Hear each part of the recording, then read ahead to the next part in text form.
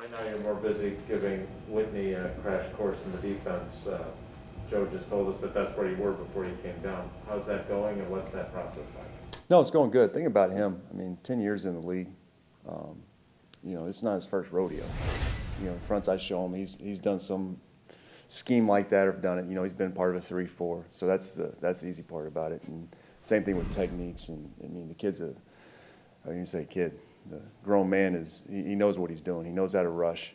You know, he's a technician. He, he's, you know, going through individuals. It was, it was nice having an older guy like that instead of, you know, and I love coaching the younger guys, don't get me wrong, but coming in and, and he knows what he's doing. So now it's just the terminology and, and uh, you know, him getting a feel of everything and getting a feel rushing with the other guys.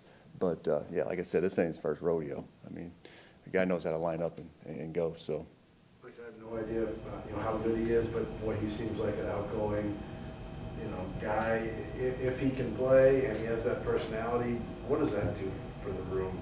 no, it's great for the room. I mean, you know, it's like almost having another coach in the room. You know, an older guy that that's done it and been successful and and uh, you know guys learn from. I mean, you know, just on my guy's iPad, I think I'm up to like 150 different pass rushers in the last 20 years.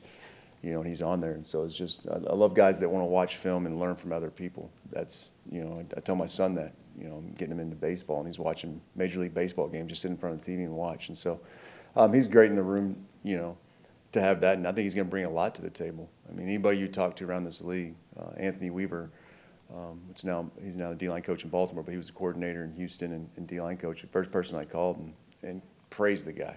I mean, he's a hell of a person. So, um, you know, he's going to bring a lot to this, not just to my room, but to this team. So, so you have guys on your iPad that you just want to keep a, a bank on, show other guys? Last 20 years, you name a guy, he's going to be on there.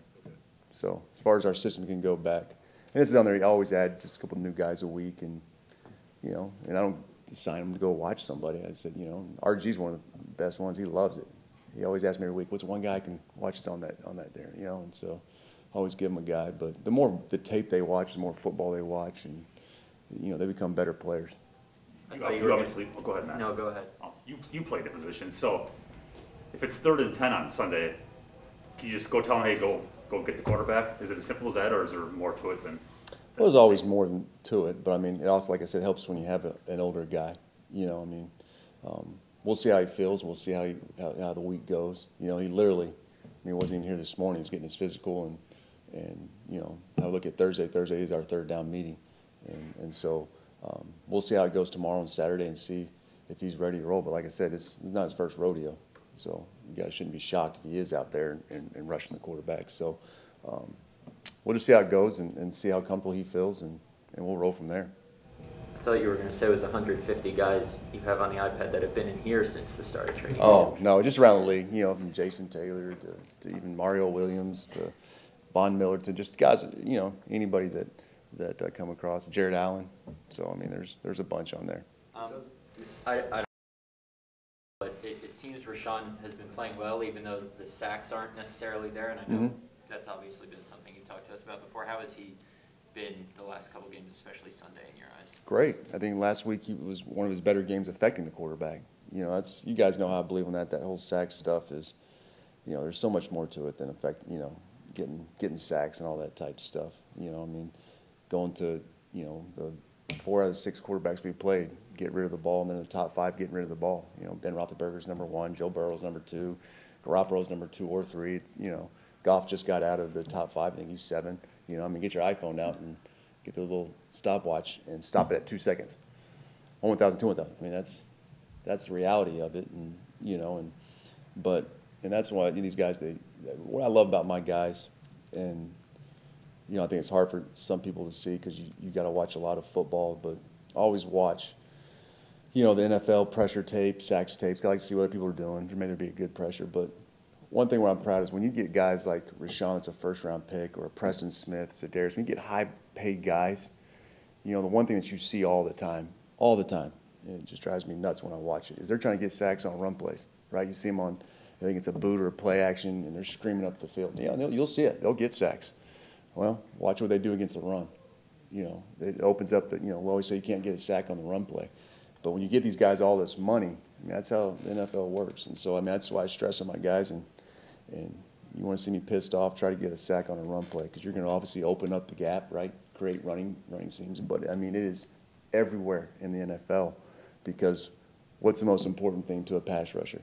sex, it's word contracts, money, all this stuff. You got to get that out of their minds. And, you know, that's to me, when you see guys do that, that's selfish. That, you're, you're thinking about yourself, you're not thinking about the defense, right? And so, you know, it, does it hurt us at times? Because um, our numbers won't be up there on that certain stuff when you see guys getting sacks on boots and play actions and all this other stuff. It does. But ultimately, we'll be fine. I think, what does RG have? 30 something pressures? I don't even know what he has, right? I mean, I know he's top five in the league. 25 the 25. So I know he's up there somewhere with it affecting the quarterback.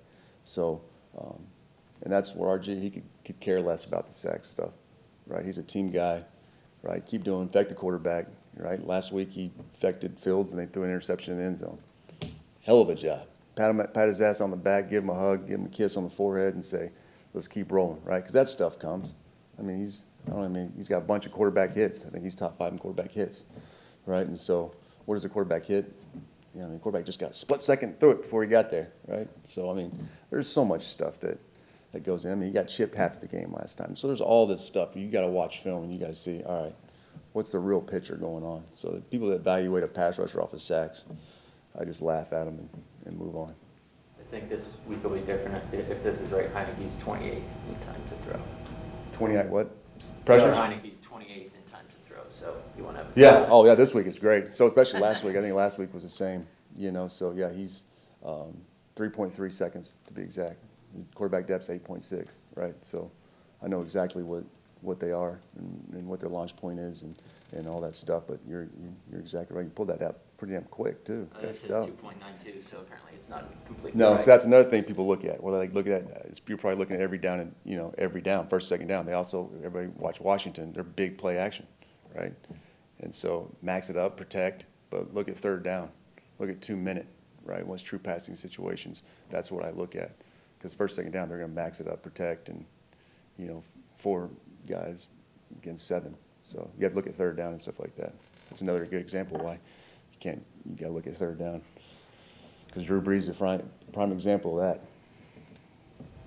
Hey, Mike, uh, looking quickly at Jonathan, you know, with his, his actual sack, just what, what did you think of the job he did on that play? And just with Field, with how elusive he can be, being able to kind of keep that in front of him before, you know, taking him down? Yeah, anytime you have those running quarterback, I mean, it's a challenge this week. You know, he, he can move around too, but, uh, you know, that's why I tell my guys, sacks, very rarely just flat out beat a guy. It's your second or third efforts that you're gonna get there. That's why you gotta be relentless. But Jonathan did a great job. When Preston went down, when he did, I mean, that left us with three in the game, you know, and so, um, makes it quite a challenge. Good guys get tired, and the way that RG plays and stuff, he gets tired pretty dang quick, um, cause just how relentless he is. But, um, I thought he did a great job coming in. You know, Jonathan is a guy that knows who he is. Um, there's nothing pretty about him. Call him throwback, right? Does a great job understanding his power, setting guys up, getting them to lean, um, good on the edge. And so that's the thing about Jonathan, why I say he's going to play a long time in this league because he's smart. You know, he does all the drops too. The guy's 275 pounds, and uh, he's had one one MA the entire year. So um, but that was a hell of a play. You know, quarterback, uh, you know, obviously got out and scrambled. We had a certain call on that that uh, that was going on right there, but uh, doing a good job. You know, I'm glad the kids in my room, guys like that play a long time. It's smart, tough. You know, do their job. I feel comfortable when he's out there as a coach, and that's a that's a big part of it. You know, and he's just going to get better over time.